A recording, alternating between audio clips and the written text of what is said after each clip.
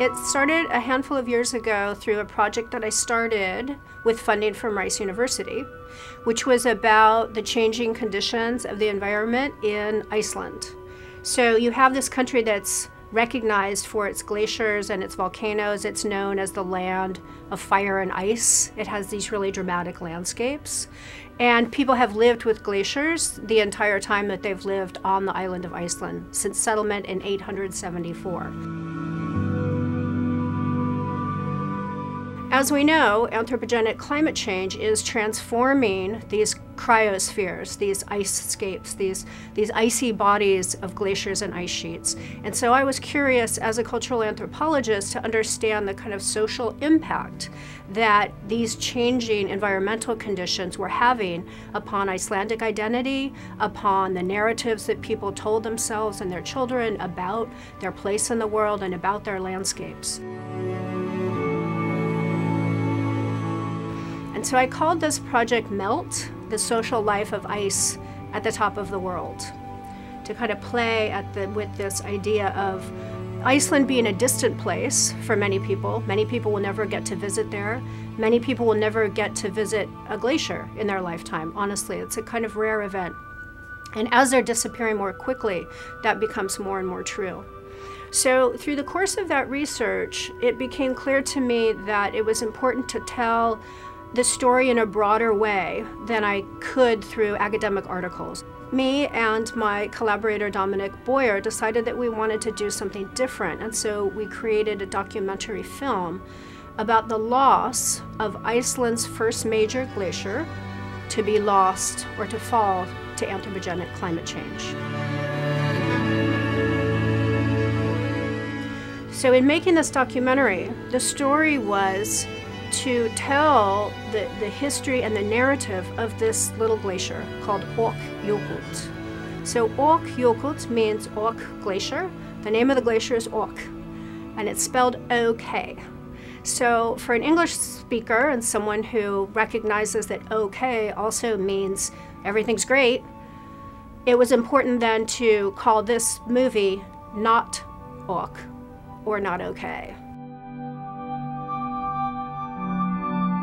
And in the course of working on that movie, we were asking people about, you know, how might you memorialize something that's been lost? How might you memorialize a glacier?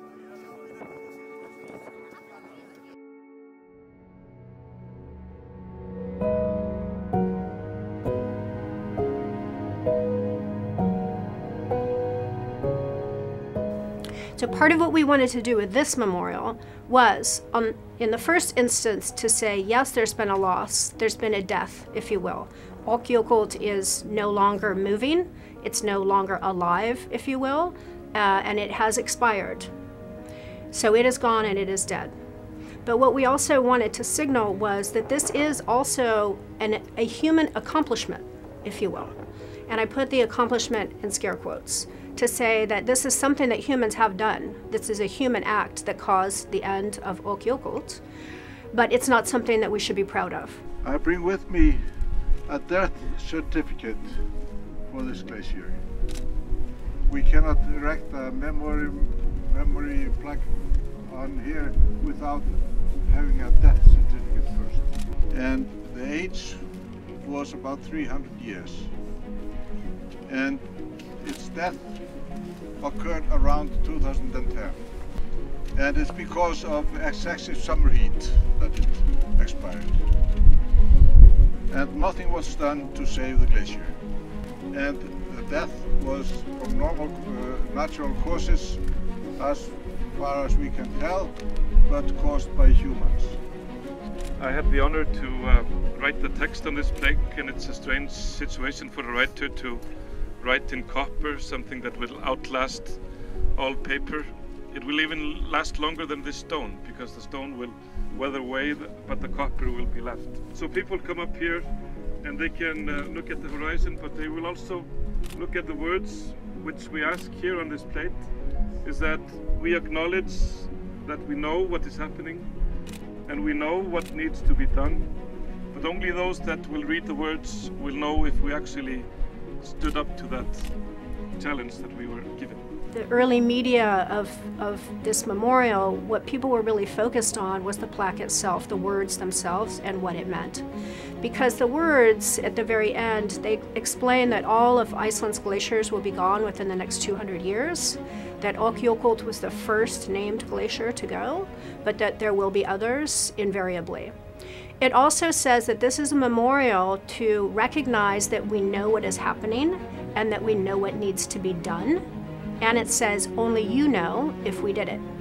It calls upon all of us. And so, in that sense, it's a memorial, but it's also a call to action.